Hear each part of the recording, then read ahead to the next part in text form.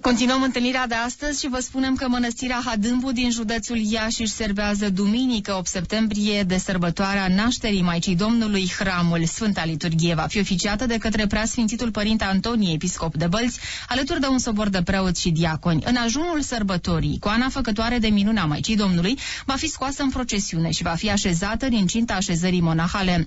Mai multe detalii aflăm din interviul pe care colegul nostru Constantin Ciofud a realizat cu Părintele Arhimandrit Nicodim Gheorghiță, starețul mănăstirii.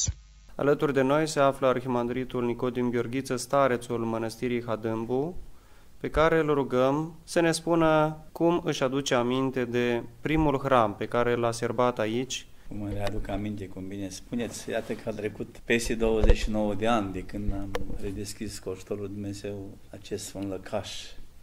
Știm prea bine că această mănăstire arăta ca după război.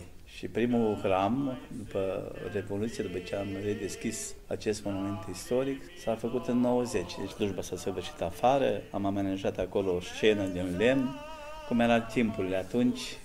Vedem astăzi, din minunea lui Dumnezeu, ce este astăzi și ce a fost acum 29 de ani. Este lucrarea lui Dumnezeu, a Maicii Domnului și, de ce nu să spunem, a bunilor credincioși credincioșilor care mi-au fost mai tot timpul în acești 29 de ani alături. Mă refer la fiii mei duhovnicești care îi consideră o doua obște pentru Sfânta noastră mănăstire. Și v-ați organizat cu programul liturgic, sobor de preoți, ă, strană, cum a fost atunci? Păi nu prea a fost sobor de preoți, fiindcă în locul corului la strană cântau păsni cerului, îl lăudau pe Dumnezeu. Nu aveam țipene de... și foarte puțin credincioși. Am început uh, până și la pelerin, făceam masa afară, la ceaune, la cazane, focul aproape de monument, în câmp. Și încetul cu încetul Dumnezeu a înzestrat cu a sa milă și a sa binecuvântare. Iată, acum nu mai avem loc cu ne să vârși Sfânta Liturghie. A devenit neîncăpătoare și o grada monumentului istoric de milă lui Dumnezeu. Cum arăta în trecut ca după război, mulți rămân foarte mirați. În acest timp să nu spunem că nu-i scurt, fiindcă de după Revoluție vă închipuiți cum arăta locul acesta și Dumnezeu a blagoslăvit să ajungă o frumoasă sihăstrie, precum toți credincioșii spun, colzerai în acest loc. Toată această lucrare și toată această jertfă a Sfinției voastre se datorează Preasfintei Născătoare de Dumnezeu, Maicii Domnului, pe care Sfinția voastră o numiți frumos în cuvântările de la finalul Sfintei Liturghii, stareța acestui loc. Păi a fost, cum v-am spus, că după război locul acesta, eu, dacă am ajuns după Revoluție 90, am redeschis uh, Sfânta Mănăstire, apoi prima Sfântă Liturghie de Bună Vestire, am încercat până la învierea Domnului să o aducă decât să fac să aranjăm curtea, o grada care era numai, nici nu vreau să-mi aduc aminte cum arăta o grada mănăstirii, această cetate uh, monumentului, bisericuța mică cu două lahăte, în bisericuță, un, cum spuneau mulți din zonă, crescuse un copac în Sfântul Altar, la fiecare liturghie când ieșeam, să spun în sus, avem inimile, mă uitam cum curgea apa din bolta bisericii.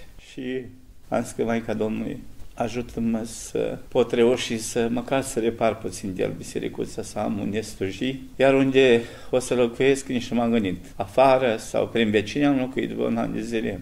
Mă refer prin vecinii mănăstirii. Păi am găsit un turnuleț acolo, o chiliuță unde a fost a postului stare eu Mazilu și văzând cum arată, m-a rugat de câteva gospodini din zonă ca să mă ajute să o vărim, să, am, să pun un godin, să am unde pleca capul. Până vă reuși să fac o căsuță și să renovăm uh, incinta și interiorul monumentului istoric. M-am retras în incinta mănăstirii, în acea chiliuță unde se află paraclisul Sfântului Ioan Botezătorul și acolo am locuit timp de un an de zile până am început căsuța din incinta mănăstirii. Spuneam la credincioși că dacă nu o să am pe cine binecuvânta, înseamnă că nu sunt vrednic să mai rămân în acest sfânt sacru loc.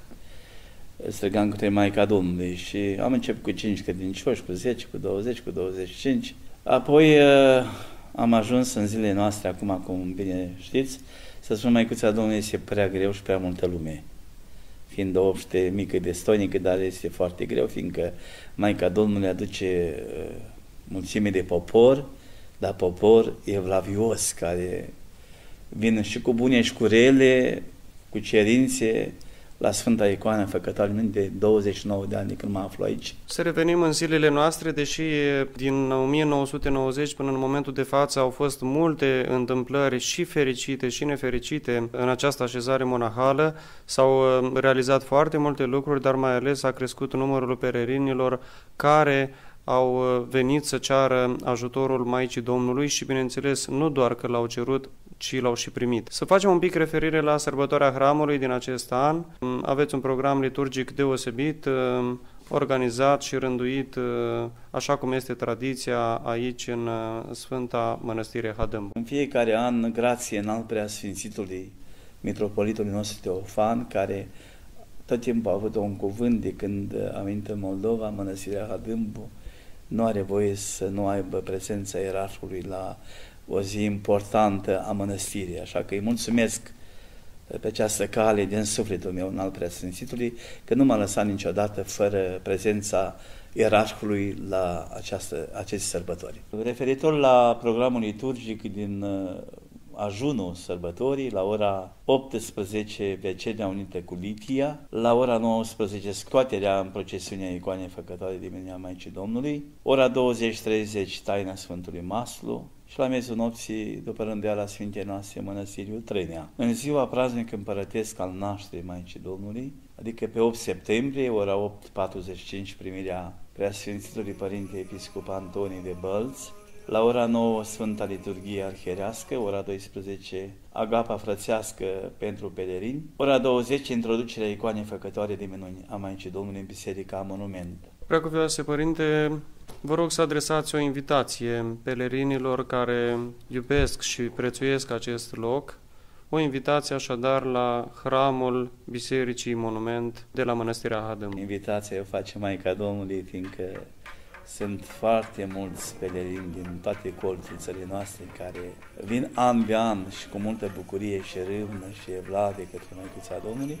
În primul rând, bucuria duhovnicească a noastră, a preotului, indiferent unde ar fi, este prezența credincioșilor. Și mai cu seamă, dacă se folosesc cu ceva, îi vedem că se întorc și a doua oară, sau a doua duminică, sau a doua sărbătoare. Să ajute Bunul Dumnezeu și să ne ajute pe to- cu toții să ajungem cu bine, să întâmpinăm această mare bucurie, prilej de mare bucurie și mare binecuvântare, praznicul împărătesc al nașterii Maicii Domnului. Vă mulțumesc tare mult și să aveți parte de o sărbătoare deosebită împreună cu fiii duhovnicești și cu pelerinii ce sunt așteptați în număr mare. Amin. Așa să fie. Am ascultat un interviu realizat de colegul nostru Constantin Ciof cu părintele arhimandrit Nicodim Gheorghiță, starețul mănăstirii Hadâmbu.